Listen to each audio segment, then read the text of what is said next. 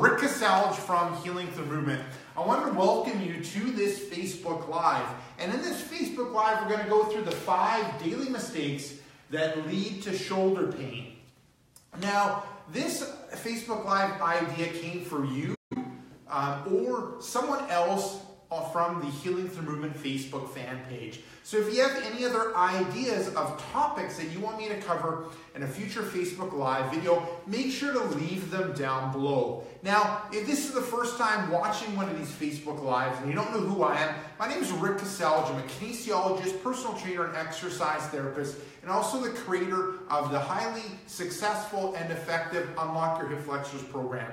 So if you have like achy knees, a sore back, tight hips, check out this program. It's 10 exercises that take about 10 minutes that will help with those areas. It's helped thousands of people around the world and it's uh, simple and effective. Okay, now let's get to the exact topic of the Facebook Live. And I'm to bring Emma up. And the first one we're going to go through is don't be a slouch monster. And what I mean by that is, you know, when we're sitting and when we're standing, we kind of slouch through the shoulders. We're rounded through the shoulders. Now, what that does is it puts greater stress on that shoulder joint. So you have less range of motion, less movement. And also that roundedness puts greater stress on that rotator cuff that is in the shoulder. So what we want to do is not be a slouch monster. Have good posture, nice and upright when it comes to head, shoulders, hips, and legs. What that does, it gives you greater range, so it opens things up more in the shoulder. It puts less stress on that rotator cuff, and it gives you better range of motion. So really, if you feel that trigger of like achy shoulder um, or shoulder pain, look to see if you're being a slouch monster.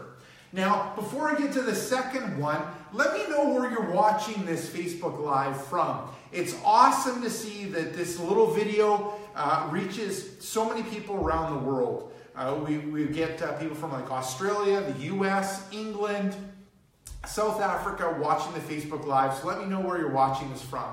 Now moving on to the second one, this is ignoring your mid-back. So it's a build on the slouch monster. So when it, what happens is if you're a slouch monster, you have you, you end up getting more stiffness and poor movement in that mid-back area.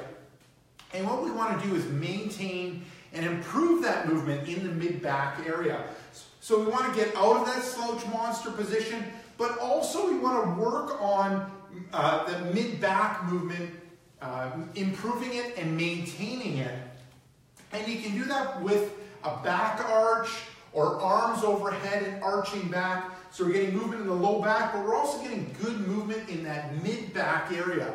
And if we have good movement in that mid-back area, we put less stress on that shoulder joint. So if we, if we don't have as much movement in that mid-back, we rely on the shoulder to do more of that movement. It leads to more stress on the tissues in the shoulder, leads to irritation, pain, and injury. Okay, now as I go through these mistakes, please make sure to let me know if you have any questions. You can leave them down below. Myself or one of my team members will answer your question um, uh, very quickly. Okay, moving on to the third one, just doing legs. This is an exercise or workout comment, and for a lot of people, doing legs is a lot easier, like lunging movements, squatting movements, single leg movements. Uh, deadlift movements, those tend to be natural and easier to do compared to upper body work. So, so we want to maintain, so we want to do some pushing movements and pulling movements when it comes to the upper body for shoulder health. So an example would be going through like a push-up movement. So we can modify it by going from the knees, keeping the body in a nice straight line, and going through that pushing movement. So we're working through the front of the shoulder. You're also working the muscles around the shoulder blade. Now, if this is too difficult, an option is to go against the wall and going through that push-up movement against the wall. And this will help with, you know, working against that slouch monster. It'll work on activating the muscles around the shoulder blade. It'll, it'll work on the pressing movements in the front of the shoulder. Also, we want to make sure that we add rowing movements or pulling movements in our workouts. And this is an example like a bent over row. So going from standing, bending through the hips, nice straight line, head, shoulders, hips, uh, legs are soft, and going from arms straight, pulling the elbows back, elbows just passing the body, and then back to straight. So you're strong in the shoulder blades, great posture, and going through that pulling movement, and that'll help with shoulder health. And you can see with these two exercises, Emma has, is, is in great alignment and is not in that slouched posture position. Because if you're in that slouched posture position while going through the exercises, you're to put more stress on the shoulder, and also you're reinforcing that poor movement, that poor posture. Okay, moving on to the fourth one, um, getting your hands up. And with this one, what we want to talk about is a lot of times when we do day-to-day stuff, everything is below shoulder height. We want to get moving where we're reaching overhead, we're bringing the arms overhead, we're reaching above, because we want to keep that movement and maintain that movement. Also, when you bring those arms overhead, we're working the muscles around the shoulder blade, which is good. And it's important as you age to maintain the range of motion through your joints. A lot of times that's an issue that happens. People don't use that range of motion, so they end up losing that range of motion. So make sure to get your hands up throughout the day and have um, you know, movements overhead, reaching overhead, bring the arms overhead.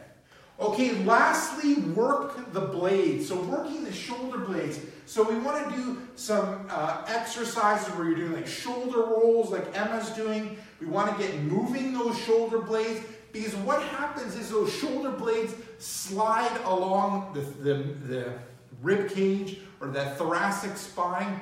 And if we don't use those shoulder blades, we end up having poor, sloppy movement. So we want to make sure that we have good movement with the shoulder blades, but then also activating those muscles around the shoulder blade. Because when we move the arms, you know, past like uh, 25 degrees, those shoulder blades kick in and they move in order to keep that rotator cuff in ideal alignment.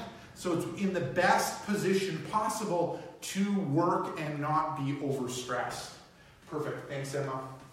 So there you go. There's five mistakes that people commonly make on a daily basis that affects and leads to shoulder pain. So make sure that you uh, avoid those and address them. So if you have any aches and pains in the shoulder, look to see if you're making any of these five mistakes.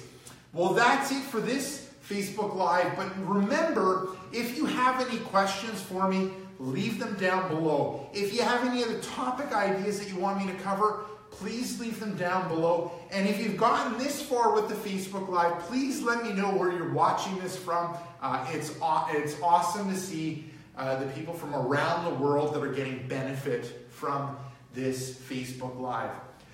So, I mean, I think that's it. This is Rick Kaselj from healingthroughmovement.com. Uh, we will see you on the Healing Through Movement Facebook fan page, and we'll see you in the next Facebook Live video. So take care, and bye-bye.